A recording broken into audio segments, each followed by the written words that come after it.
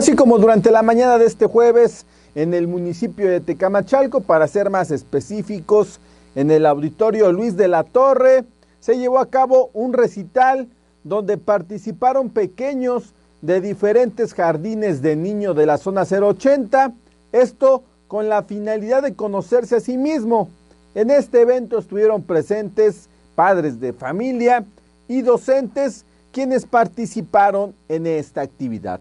Los invito para que chequen la cápsula completa publicada en nuestras redes sociales. Es así como iniciamos esta cápsula informativa con las noticias más importantes de la región de Tecamachalco de este jueves 19 de diciembre. Y continuamos en el municipio de Tecamachalco, ya que se pide el apoyo de la ciudadanía para dar con el paradero de Betty Suf Velázquez, de 28 años de edad, originaria de la Junta Auxiliar de San Mateo Tlaixpan, quien desapareció desde el pasado 14 de diciembre.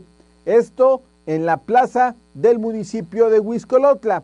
Como señas particulares, tiene un tatuaje de mariposa en la mano izquierda y un lunar en la mejilla derecha.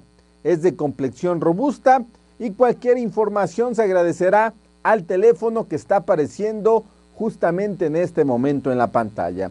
Así es que los invitamos para que compartan esta cápsula y más personas puedan informarse y puedan dar con el paradero de esta joven originaria del municipio de Tecamachalco. Y de este punto ahora vámonos hasta Cachingo, ya que a través de un comunicado de prensa la Fiscalía General del Estado informó que la unidad de investigación especializada en delitos sexuales obtuvo vinculación a proceso de Carlos N., de 20 años de edad, señalado por el delito de violación equiparada contra una menor de edad, quien fuera víctima el pasado mes de noviembre del 2017, precisamente en este municipio, mismo que fue detenido días después en el Estado de México. Y anoche les mencionaba yo sobre la agresión a elementos de la Policía Federal sobre la autopista Pueblo Orizaba a la altura del kilómetro 185 cuando se les había reportado el robo de un tractocamión.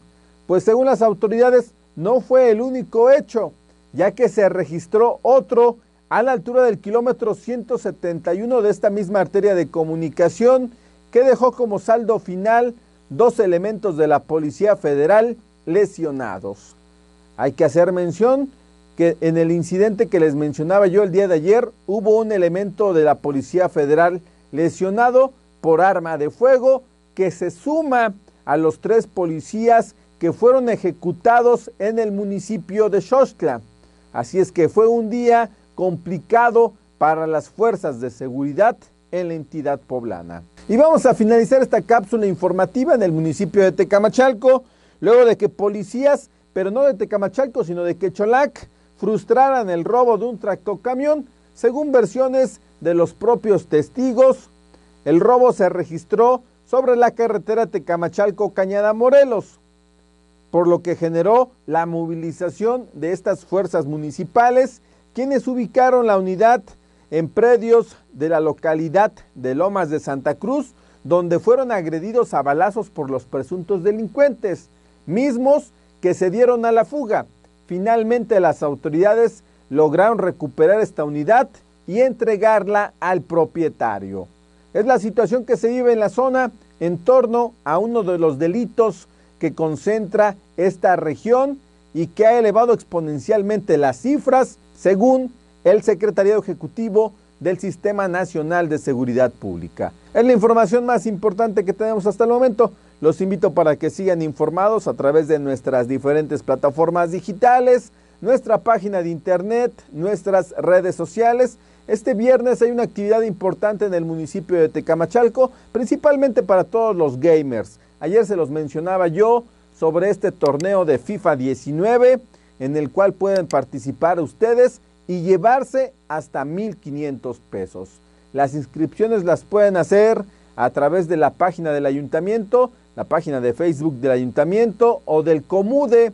Asimismo, minutos antes de que inicie la competición, la cual se llevará a cabo en pantalla gigante. Así es que participen y llévense el efectivo que estarán dando el primero, segundo y tercer lugar. Yo me despido a todos ustedes, deseándoles un excelente viernes y nos estamos viendo muy pronto. Hasta luego.